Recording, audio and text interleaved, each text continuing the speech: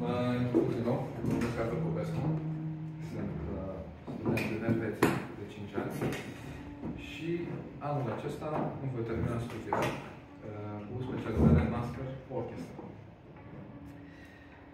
Uh, chiar dacă părerea domnul Cătălin e că basul în orchestră e doar garantez că nu e, sunt foarte multe pasaje, chiar melodice, de exemplu, recitativul 那个幸福联盟的各方面。